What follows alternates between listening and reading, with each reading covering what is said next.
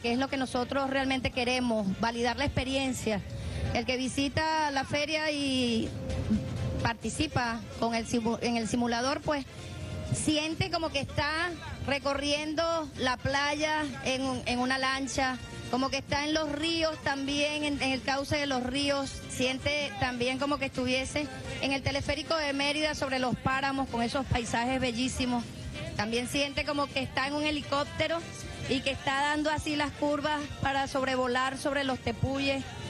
Y al frente se consigue la caída de agua más alta del mundo, que es el Salto Ángel. Realmente tenemos una tierra bendita, tenemos un país que es maravilloso y el simulador va a permitir que todo nuestro pueblo conozca todos los recursos que tenemos y bueno, a seguir impulsando el turismo. El turismo, nuestro objetivo es posicionarlo como un motor de desarrollo económico para el país.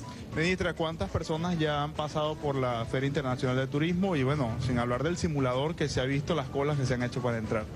Sí, bueno, estamos muy contentos. En un solo día, el día de ayer, 12.500 personas han pasado por aquí por la feria. Estamos preparados para recibir muchísimas más personas porque hoy día sábado, mañana domingo, tenemos muchísimas eh, actividades, atractivos. Tenemos cocina en vivo, cata de café, de cocuy, de ron, de vino. Tenemos muchas actividades, hay conferencias y sobre todo el día de mañana que tenemos un gran concierto.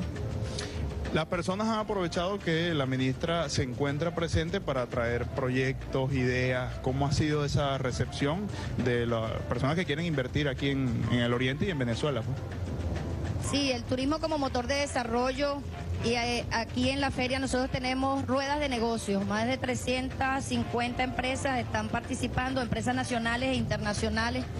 Lo más importante es que hemos logrado captar un gran interés internacional por la inversión aquí en el país. Y tenemos ya solamente en un día, nosotros teníamos estimado unas intenciones de negocio, alrededor de mil intenciones de negocio y un monto estimado de 5 mil millones de bolívares para todo lo que era durante la feria. Sin embargo, ya el día de ayer, en un solo día, ya nosotros pasamos 5 mil millones de bolívares en intenciones de negocio y 5 millones de bolívares en intenciones, 5 millones de dólares en intenciones de negocio adicional. Realmente la expectativa es muy grande. Aquí han participado todos los eh, invitados internacionales y se van, están maravillados están maravillados. Ellos los hemos llevado a pasear por Mochima, a que también prueben toda nuestra gastronomía, que es maravillosa, y el turista internacional, el tour operador internacional, que es el que está participando aquí en la rueda de negocios, está encantado porque, bueno, definitivamente Venezuela es para quererla.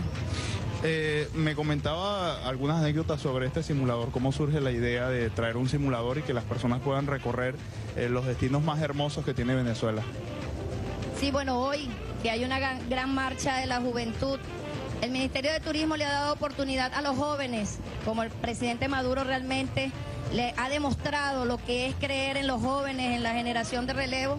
El Ministerio de Turismo, sin conocer también a unos jóvenes emprendedores, unos jóvenes ingeniosos, se presentaron al ministerio sin conocerlos y nos presentaron un proyecto, un proyecto maravilloso que además no sabíamos cómo iba a quedar y apostando por los jóvenes, por ese intelecto, por esa capacidad de ingenio y de desarrollo.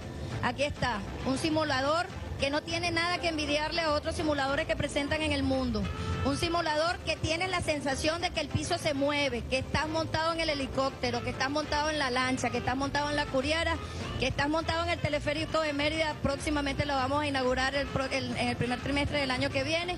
Y estás disfrutando y validando la experiencia que es lo que permite que nuestro pueblo valore todo lo que nosotros tenemos. Realmente esos muchachos yo los felicito porque es tecnología de punta y aquí ahora tenemos un simulador para llevarlo por toda Venezuela. Bueno, ministra, nos toca despedir. Le queremos dar el. Bueno, nosotros nos quedamos en el oriente del país, en este frente a la playa y en este sol maravilloso. Un mensaje que usted le daría a las personas a través de Venezolana de Televisión. Mi mensaje es que nosotros tenemos un país maravilloso, con muchos recursos, recursos naturales, tenemos patrimonio cultural, histórico, pero el recurso más importante es nuestra gente. Venezuela es un lugar de paz, de encuentro. El turismo es un instrumento de desarrollo económico para traer recursos, para traer inversión, para traer desarrollo en lo que se refiere a trabajo y empleo, pero lo más importante para traer alegría a nuestro pueblo. Así que yo invito a Venezuela a seguir como un país soberano, independiente, recuperando todos esos valores de amor y de paz. Vamos adelante, nosotros vamos a seguir construyendo patria con el presidente Nicolás Maduro. Somos un pueblo valioso, somos un pueblo valiente.